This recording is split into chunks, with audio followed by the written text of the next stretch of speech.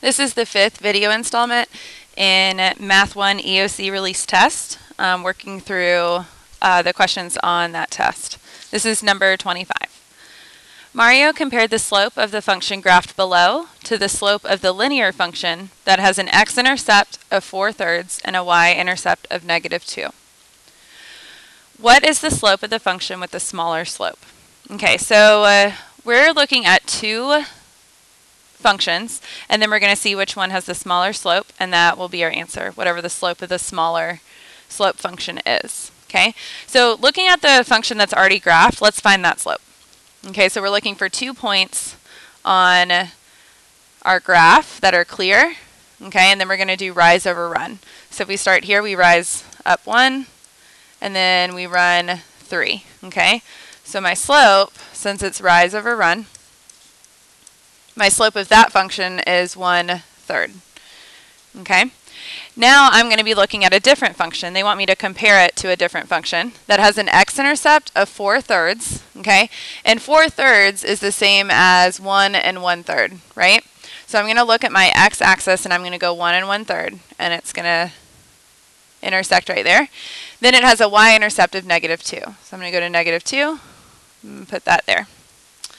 Okay, so here's two points. So my line is going to look something like this. Okay, I can already tell that that line in purple right there is steeper. Okay, so uh, whatever the slope is, and I don't know what it is, okay, because these two aren't really clear points to do rise over run, but this slope right here is steeper. The steeper the slope, the bigger the slope is. And my question wants to know what's the slope of the, the smaller slope. Well, I know that this is going to be a bigger slope than the other one, and this is my smaller slope. So that's going to be my answer. Number 26, the boiling point of water, T, measured in degrees, at an altitude A, measured in feet, is modeled by this function. In terms of altitude and temperature, which statement best describes the meaning of the slope? Okay.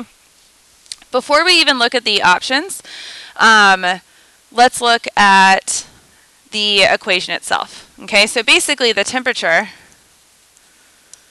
okay, is described by this number times the altitude that it's at, the height, plus 212.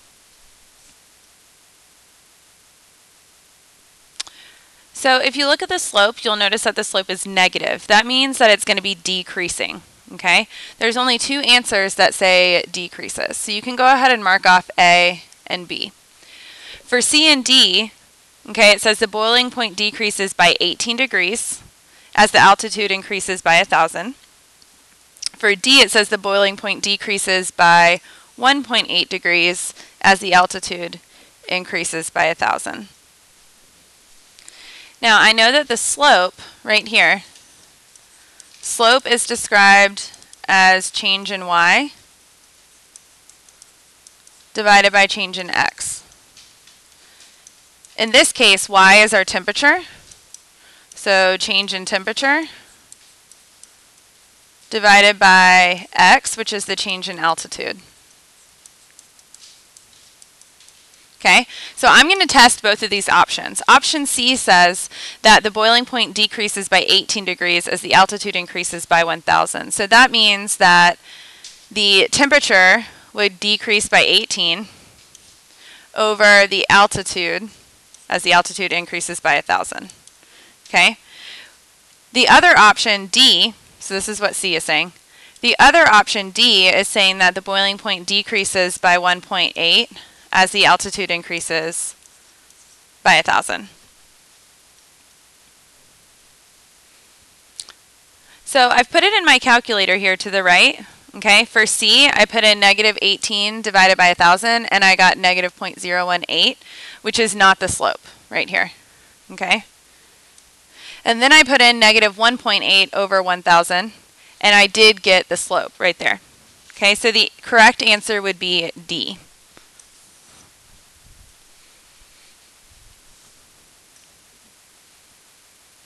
Number 24, a line segment has endpoints J and L. The point K is the midpoint of JL. What is the an equation of a line perpendicular to JL and passing through K? Okay, so it says what is the equation of a line? Well, here, in order to get the equation of a line, we need the y-intercept and we need the slope, okay? So uh, it's it gives us a line segment, JL, and those points. It says that point K is the midpoint. Okay, our line that we're looking for is going to be perpendicular to this line that has those points in it, and it's going to go through the midpoint. So there's two things that we need to find about line segment JL. Okay, line segment JL, we need to find the slope, okay, and then so that we can get the perpendicular slope. And then we also need to find the midpoint, which is K. Okay, once we do that, we'll be able to write our new line. So, for the midpoint, okay, in order to get the midpoint between two points, all I have to do is add the x values and divide them by 2, and then add the y values and divide them by 2. So, the x values here are 2 and 6, so I'm going to add those together divide by 2. The y values are 4 and 8. Add those together and divide by 2. The midpoint is in the exact middle. That's the average. Okay. 2 plus 6 is 8 divided by 4. Or sorry, divided by 2 is going to be 4. 4.8 or 4 plus 8 is 12 divided by 2 is 6. Okay, so that's the midpoint. That's K. All right, now I'm going to go back and I'm going to find the slope of what JL is. Okay, because I'm trying to write an equation of a line that's perpendicular to it. And perpendicular lines have opposite reciprocal slopes. So if I find the slope of JL, I can take the opposite reciprocal for my new slope. So I'm going to erase what I have here. All right, now in order to find the slope, I'm going to use my slope formula. My slope formula is y2 minus y1, the change in y, divided by the change in x. Okay, y2, that's going to be 8 minus 4. And then x2 minus x1, that's 6 minus 2.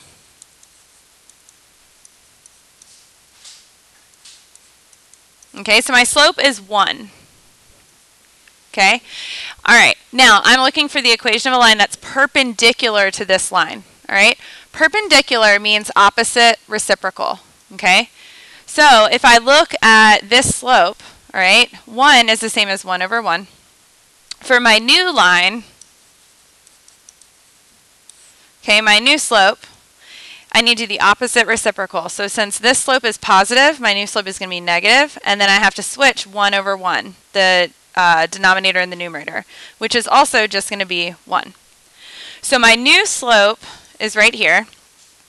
And it says that it's going to be going through this midpoint right here. Okay? So using the midpoint and my slope, I'm going to write an equation for my new line. In order to get the equation for my new line, I need the slope, which I already have right here, negative 1. I also need b. So if I plug in this right here, I can get B.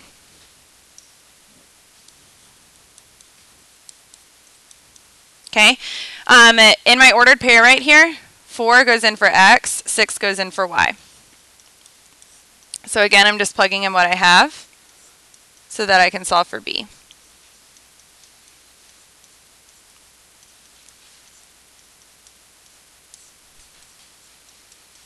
All right, so I have my y-intercept, I have my slope. My new equation is y equals negative x plus 10. And that would be b.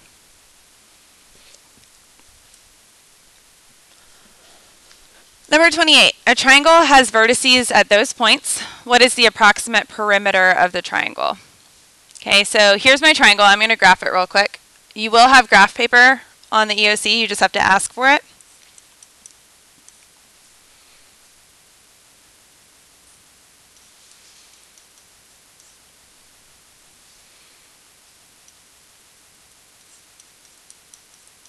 Okay, so here's my triangle. All right. Now, they want to know what the perimeter is. The perimeter is the distance around the triangle. In order to find the distance, I can't just count units here because it's slanted. So I'm going to have to use my distance formula between each one. Okay?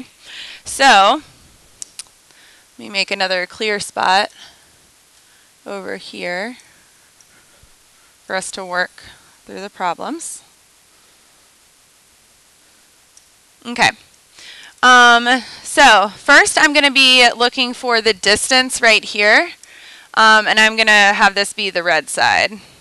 Okay, so for the red side, I'm looking for the distance between 1, 3 and negative 1, negative 1. Okay, now if you notice in the formula, I have an x2 and an x1, um, a y2 and a y1. So I need to label my points. This is going to be x1, y1, x2, y2. It doesn't matter which one is which as long as you're consistent. Okay, so for the distance, x2 minus x1, I'm just following my formula over there.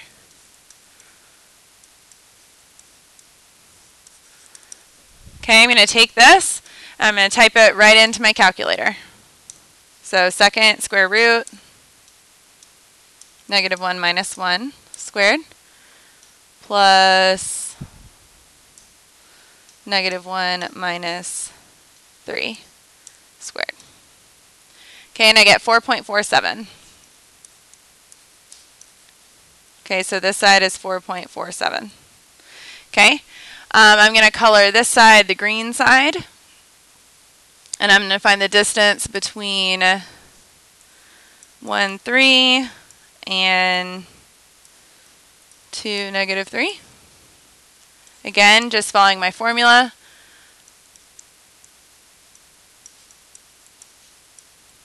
It's important that you label your points because otherwise you might get confused when you go to plug them in.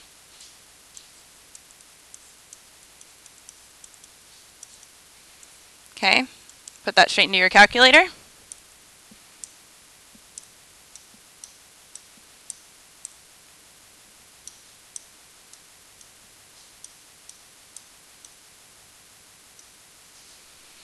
Okay, so the distance there is 6.08. All right, and now we have to find the distance for that last side. And I'm going to call that the orange side.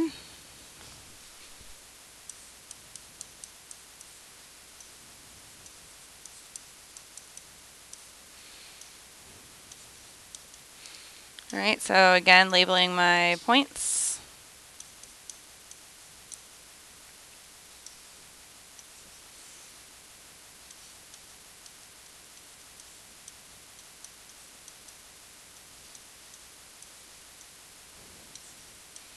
Okay. It's also really important, by the way, when you're plugging in that you make sure to enter negative signs as negatives and subtraction signs as subtraction. Okay, you can't use both the negative and the subtraction for the same thing. So here, if you'll notice, I'm doing negative 3 minus negative 1.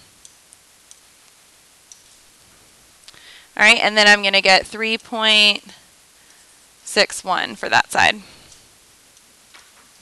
Now, the question um, is asking what's the perimeter, okay? So in order to get the perimeter, I'm going to need to add up the distance for each side. Okay, so I'm going to add 4.47 plus 6.08 plus 3.61. Okay, so I'm adding up all three sides, and the perimeter that I get is 14.16 and it asks for the approximate perimeter so my answer would be B.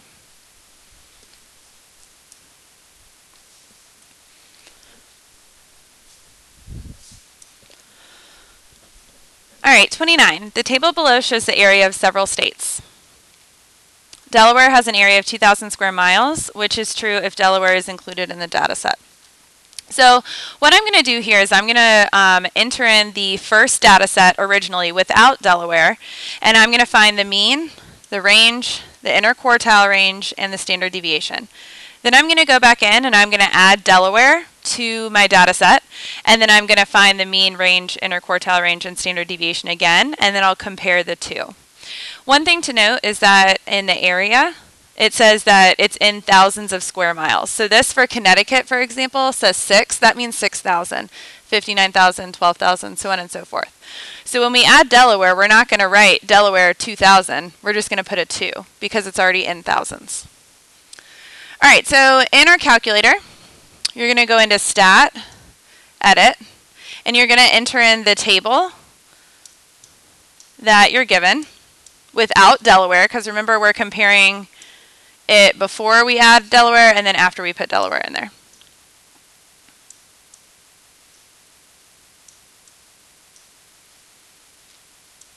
Okay, now in order to get all that information over there, the mean, range, interquartile range, standard deviation, you're going to press Stat, scroll right to Calc, and you're going to select Enter for one variable stats. Then press Enter. All right, so the first one is the mean. The mean looks like this, okay? So the mean that we're given is right here, 31.38. I just go to the hundredths place. The range is the maximum minus the minimum. Okay, the maximum minus the minimum. If I scroll down over here, it gives me the maximum of 59 and the minimum of 6. So I'm going to do 59 minus 6 to get 53. Okay, the IQR, the IQR, the interquartile range is Q3 minus Q1. So if I look at Q3, it's 54. Q1 is 10. So I'm going to do 54 minus 10 and get 44. And then the standard deviation. The standard deviation is right here, SX. So that's 23.71. Okay, so now I'm going to go back into my table and I'm going to add Delaware with its 2,000 square miles. So I'm going to go to the end of my list. I'm going to add in a 2 for Delaware. And then I'm going to recalculate my statistics. All right, so with Delaware in there, you'll notice the mean decreases to 28.11.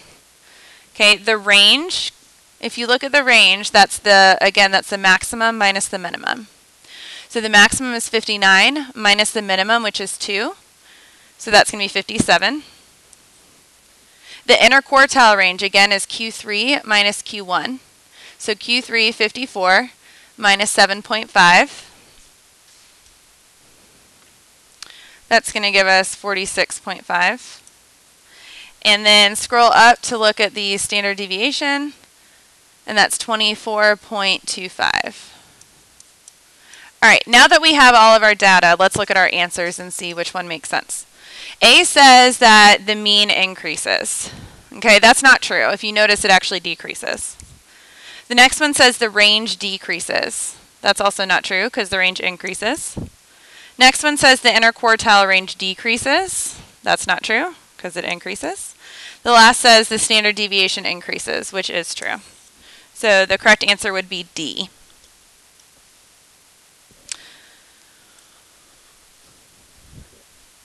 All right, we're actually going to go ahead and stop there. We'll pick up with number 30 on the next video.